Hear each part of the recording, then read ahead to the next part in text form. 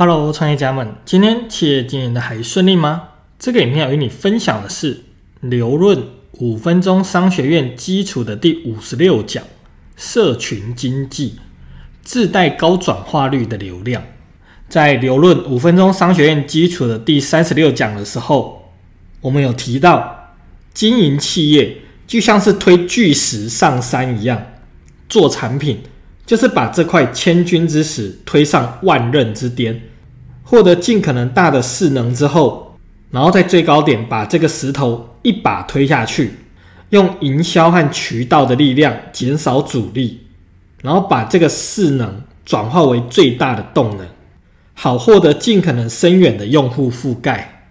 可是当网络时代来临之后，有什么新的推石头方法和新的推石头工具？能够更有效的帮助企业能量的生成和转化吗？其实是有的。今天这影片就要与你分享其中一个可以提高转化率的方法，那就是社群经济。社群呢，就是因为某个共同点而聚集在一起的人群。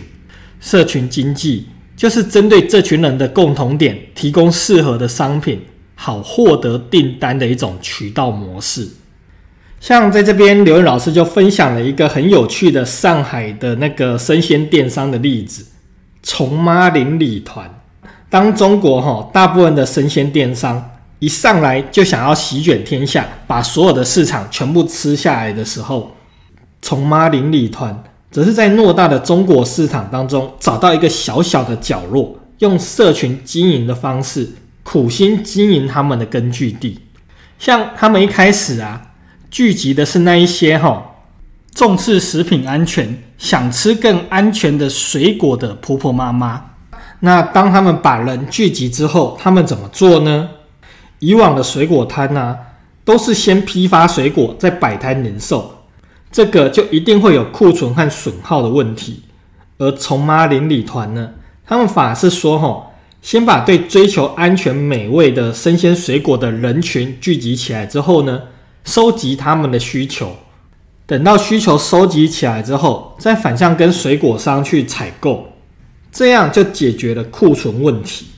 而且我觉得最有趣的一点是啊，他们还解决了另外一个问题，也就是物流问题。因为啊，对大型生鲜电商而言，即使这个城市只有一个顾客，他都要部署复杂而完备的物流体系。但是在虫妈邻里团里面。因为大家都是邻居，所以配送哈非常简单，使得这个物流的成本极大的降低啊。这样的商业模式根本就跟台湾的那个团妈团购的模式一模一样啊。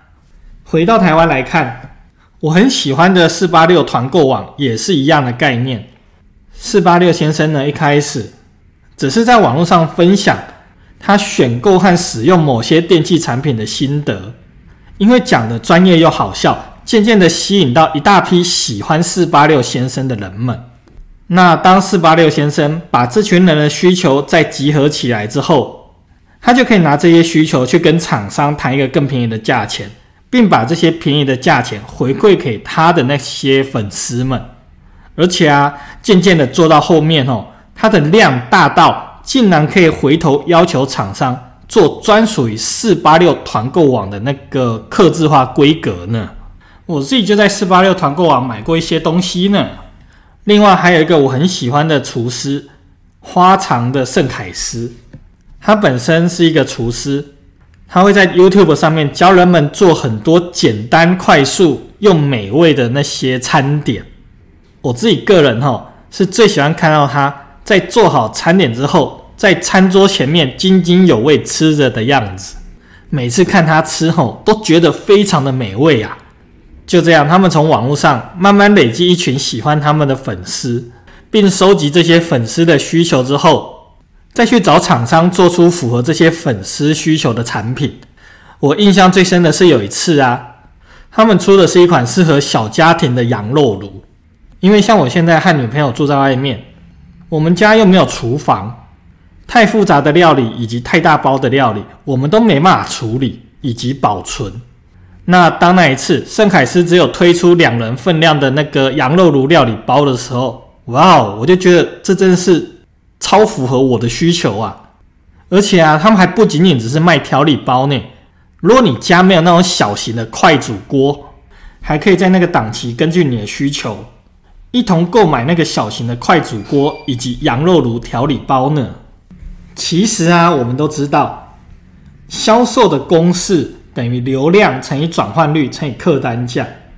一般来说，当我们的潜在顾客通过某种渠道进入到我们的销售漏斗之后，我们就会去计算说有多少比例的潜在顾客可以通过这个流程实际真的掏钱来购买我们的商品。所以啊，在很大的程度上，我们能不能吸引到适合的顾客来购买我们的商品，大大影响着转换率。而社群经济为什么能够创造这么高的转换率？其实不是因为它有更大的流量，而是因为它聚集了一批需求更加准确的潜在顾客，所以啊，才能极大的提高最后的转换率呀。社群经济是基于这个共同点，构建一个高频交互的人群，然后向这个人群销售高度吻合这个共同点的商品，以获得极高销售转化率的一种渠道模式。如何寻找社群经济呢？第一，找到一个共同点；第二，用一个载体，比如微信群、公众号、网络论坛。那如果在台湾呢，可能就 FB 社团或者是赖社群等等，好聚集符合这个共同点的人群。第三，给这个人群提供最符合他们的共同点的商品。OK，今天影片分享到这边，期待今天影片能够帮助到你。如果你想要看到更多我在商业模式、网络行销、人工智慧的修炼笔记的话，欢迎你扫描画面当中 QR code 到我网站去看更多哟。我是华军，我们下个面见，拜拜。